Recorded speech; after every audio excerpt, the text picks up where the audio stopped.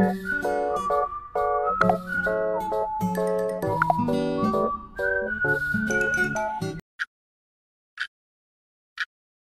guys! So today guys, uh, magro-road trip naman tayo guys. So kung naalala nyo dati, meron din akong road trip. So ito ay yung sa Batangas kami pumunta. Then ngayon guys, is pupunta kami ngayon sa uh, Quezon Province. Doon kami mag stop sa pinaka-pier ng Lucena City sa Quezon Province. So dito kami dumaan dito sa Batangas. Actually, galing kaming Cavite. So, dito kami dumaan. So, yung video na ito is hindi naman lahat naka-detail yung dinaanan, dinaanan namin. So, meron akong mga importante ditong ipapakita. Lalo na yung sa Quezon Province. So, kung hindi, kung hindi pa kayo nakakarating doon, so, yun yung ipopokus ko. And, um, para malaman nyo din yung pier doon sa Lucena City guys. So, pumunta kami, doon kami nag-stop sa Lucena City kasi papunta kami noon sa Romblon Province. So, ipupunta kayong Romblon Province or Masbate, Marinduque, or hindi ko pa sure yung ibang probinsya. Basta doon talaga dumadaan yung taga Romblon, taga Marinduque, taga Masbate. I think Pulilio Islands din. So yun, ang sinakyan namin is yung Montenegro or meron din yung Star Horse. So yun nga guys. So mas mura dito guys kapag may dala-dala kayong mga sasakyan. So, much, much better guys, doon kayo dumaan kasi ang mura ng, uh, ng travel ano nyo, expenses na mga payment nyo sa sasakyan, yung babayaran nyo, at saka kahit sa passenger, mura lang siya guys. So, bali, ano, kapag dumaan naman kayo sa Batangas City guys, sobrang mahal kasi uh, before, nag-travel din kami, may dala din kami sasakyan. So, more than 10,000 yata yung isang, ano lang, yung private car. So, ayun, para may ano naman kayo, may idea. If taga Romblon kayo or taga Marinduque or taga Masbate. So, ayun guys. So, dito pa din tayo, dito pa din tayo nag-road trip sa Batangas. So, mamaya is ipap, makikita nyo din yung Quezon Province at doon nga kami mag stop sa Port of Lucena City. Actually, yung Lucena City Port, hindi pa siya ganun ka, ano, hindi pa siya ganun ka okay. Hindi okay yung ano doon, yung port. Ang mahalaga lang doon is yung mura yung uh, expenses nyo, yung mga travel expenses nyo, yung babayaran nyo sa mga car nyo or sa passenger. Wala siyang ano guys, wala siyang uh, I think wala siyang restaurant. So kaya magbaon kayo ng mga food nyo. Basta pag may dala naman kayong mga sasakyan, okay na okay doon. At saka dapat may dala talaga kayong mga inumin, pagkain, kasi hindi siya ganun ka-organized doon sa Lucena City Pier. So, yun, yun, lang yung masasabi ko. Ang masasabi ko lang talaga is, mura yung payment doon guys. So, okay naman yung barko. Syempre, pare-pareho lang naman malalaki at saka mabilis. Kung gaano, kung paano yung takbo papuntang from Batangas to ibang probinsya, same, same lang naman. Ang masasabi ko lang is yung port, hindi pa siya organized, hindi wala pa siyang mga restaurant. So wala akong nakita kasi hindi din ako nag-ikot-ikot kasi tinatamad din ako kasi ang init. So yun lang guys at sana mapanood nyo to ng buo yung video and thank you for watching and enjoy!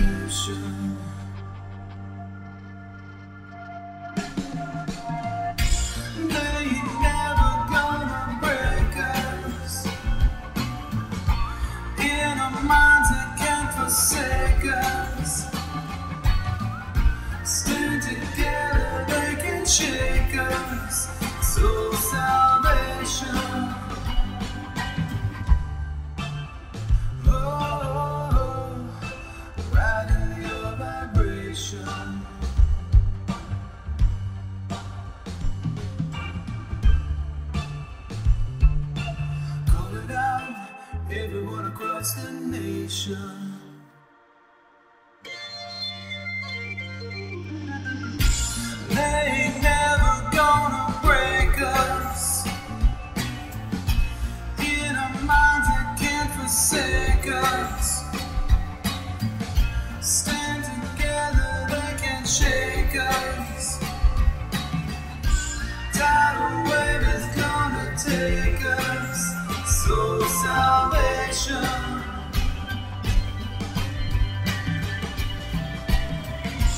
Gonna start a new religion. Make a break with your tradition. For submission. So salvation.